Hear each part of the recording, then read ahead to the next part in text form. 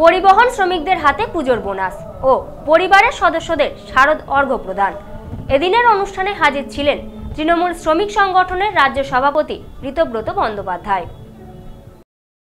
বনগাঁ জেলা তৃণমূল শ্রমিক সংগঠনের পক্ষ থেকে শারদ উৎসবের আগে শ্রমিকদের হাতে বোনাস ও পরিবারের সদস্যদের শারদ অর্ঘ্য তুলে দেওয়া হলো সংগঠনের পক্ষ থেকে।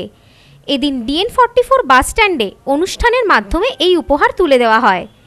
এদিনের অনুষ্ঠানে উপস্থিত ছিল তৃণমূলের রাজ্য শ্রমিক সংগঠনের সভাপতি ঋতব্রত বন্দ্যোপাধ্যায়, বনগাঁ সাংগঠনিক জেলা সভাপতি বিশ্বজিৎ দাস, জেলার চেয়ারম্যান শ্যামল রায়, বনগাঁ পৌরসভার পৌরপতি গোপাল শেঠ, শ্রমিক সংগঠনে বনগাঁ জেলা সভাপতি নারায়ণ ঘোষ সহ অন্যান্যরা। সংগঠন সূত্রে জানা গেছে, প্রতি বছর শারদ উৎসবের আগে সংগঠনের পক্ষ থেকে সংগঠনের অন্তর্ভুক্ত শ্রমিকদের এই উপহার তুলে দেওয়া হয়। পাশাপাশি তাদের পরিবারের জন্য একটি করে শাড়ি তুলে দেওয়া হয়েছে সংগঠনের পক্ষ থেকে। এই বিষয়ে সংগঠনের বনগাঁ জেলার সভাপতি নারায়ণ ঘোষ বলেন, বাস, লরি, টোটো, অটো মিলিয়ে প্রায় তিন হাজার শ্রমিকের হাতে উপহার তুলে দেওয়া হয়েছে। শারদ উৎসবের আগে স্বাভাবিকভাবেই এই উপহার পেয়ে খুশি শ্রমিকেরাও। আজকে আমরা করলাম আসন্ন শারদ উৎসব, বাঙালির সেরা উৎসব।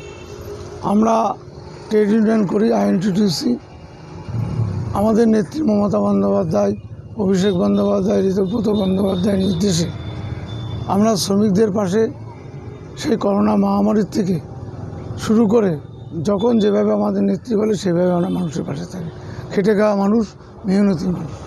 আজকে তাদেরকে বোনাস এবং প্রত্যেক শ্রমিকদের বাড়ির মহিলাদের, মায়েদের, বোনেদের জন্য একটা করে কাপড় এবং বোনাস দিলাম প্রত্যেক সংগঠনে। প্রায় তিন হাজার শ্রমিককে আজকে আমরা দিলাম। বাস চালক থেকে শুরু করে বাস চালক খালাসি কন্ট্রাক্টর অটো টোটো হকার্স এবং লরি চালক সবাইকে দিয়েছি। ব্যুরো রিপোর্ট নিউজ নোমাসল্যান্ড বনগাঁ। বাঙালির প্রাণীর উৎসব দুর্গাপুজো।